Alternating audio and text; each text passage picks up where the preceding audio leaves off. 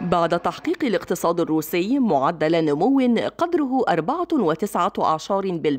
في الربع الثاني و1.5 في النصف الأول من 2023 أصبح جليا أن موسكو بدأت تتأقلم مع تأثير العقوبات الغربية على اقتصادها ما ينبئ بعودة الاقتصاد الروسي إلى مستوى ما قبل العملية العسكرية في أوكرانيا بأقرب وقت ممكن. لكن جهود الكرملين لتوسيع التجنيد العسكري قد يعيق تعافي الاقتصاد.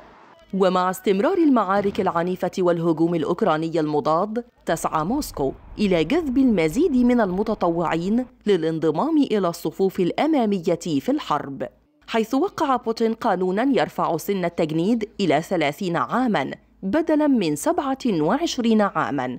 ويمنع الشباب من مغادرة البلاد بمجرد تلقيهم إشعاراً بشأن التجنيد الإجباري.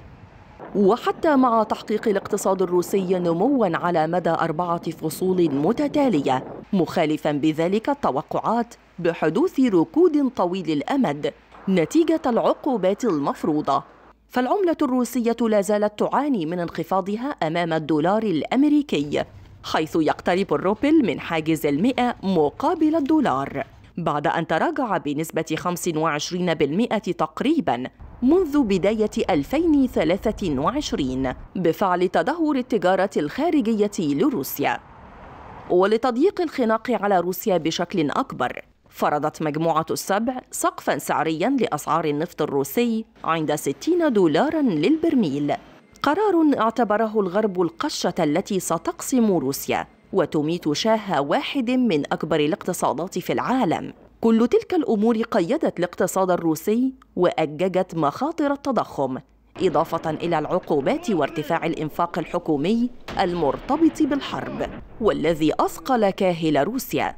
لكن موسكو لم تقف مكتوفة الأيدي إذ تحاول إيجاد شركاء جدد لتسويق منتجاتها التي تم حظرها بل وانضمت لتخفيضات إنتاج النفط الطوعية وحظرت تصدير البنزين والديزل بهدف استقرار السوق وخفض الأسعار المحلية وغيرها من المساعي الحثيثة لوضع الاقتصاد الروسي على طريق التعافي من العقوبات المفروضة على البلاد.